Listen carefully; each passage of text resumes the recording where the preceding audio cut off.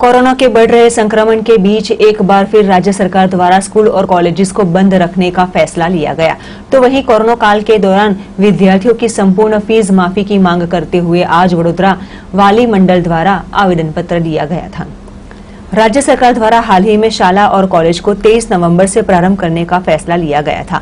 तो वहीं दिवाली के बाद कोरोना संक्रमण विस्फोटक बनते हुए गंभीर रूप से पॉजिटिव केस में उछाल आया है, जिसको ध्यान में रखते हुए राज्य सरकार द्वारा अहमदाबाद में कर्फ्यू के आदेश जारी किए गए। साथ ही तेईस नवंबर से प्रारंभ होने वाली शाला और कॉलेज को चालू करने के लिए लिए गए फैसले को भी वापस लिया गया, जहाँ एक बार फिर राज्य सरकार ने 23 नवंबर से प्रारंभ होने वाली स्कूल और कॉलेजेस को दोबारा से बंद रखने का फैसला लिया है। कोरोना संक्रमण के चलते ये स्कूल और कॉलेज को चालू करने के फैसले को रद्द करते हुए अभिभावक मंडल में भी ये फैसले का स्वीकार किया गया है। तो वहीं इस मुद्दे वडोदरा अभिभावक मंडल द्वारा राज्य सरकार के पास विद्यार्थियों की 20-30 प्रतिशत नहीं, पर संपूर्ण 100 प्रतिशत फ़ीस माफ़ी की मांग की गई है।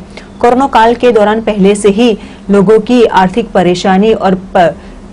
परेशानी और मुसीबतें बढ़ी है और लोगों के पास धंधा रोज़गार नहीं है। ऐसे में कोरोना काल के दौरान स्कूल और कॉलेजेस बंद हालत में होने के बावजूद स्कूल द्वारा फ़ीस की मांग की जा रही है। तो वही राज्य सरकार के पास पहले से ही छत्तीस हज़ार करोड़ का शिक्षण का और 980 करोड़ रुपए का मध्यान्ह भोजन का फंड बिना इस्तेमाल किया हुआ जो ये फंड को शाला और शिक्षकों के वेतन के लिए इस्तेमाल करने की मांग और विद्यार्थियों की संपूर्ण फीस माफी करने की मांग करते हुए आज वडोदरा अभिभावक मंडल द्वारा आवेदन पत्र दिया गया था શું થવું જોઈએ હવે સરકારે જે નિર્ણય લીધો કે શાળાઓ શરૂ થવી જોઈએ પહેલાં તો એ નિર્ણય ખોટો છે અને સરકારે ફેડરેશન ફેડરેશન ઓફ પેરેન્ટ્સ એસોસિએશનના અ, લેટરને માન આપીને જે એમની રજૂઆતને ધ્યાન આપીને વાલીઓના હિતમાં અત્યારે એક પગલું લીધું છે કે હાલ પૂરતી સ્કૂલો શરૂ નહીં થાય, જે પ્રમાણે કોરોનાની મહામારી વધી રહી છે, તો બાળકોના એની જોડે ભાઈ રમત ના રમાય કે ભાઈ એમના સ્વાસ્થ્યને કોઈ તકલીફ થાય, એ પહેલો નિર્ણય તો સરકારનો અત્યારે આવકારદાયક જ છે.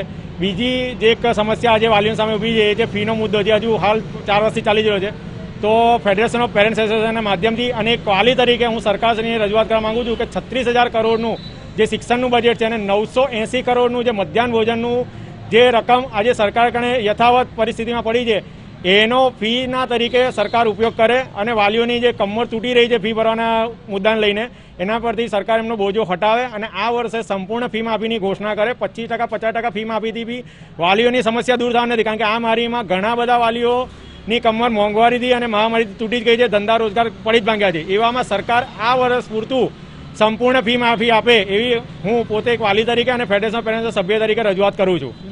સત્યમ શર્મા.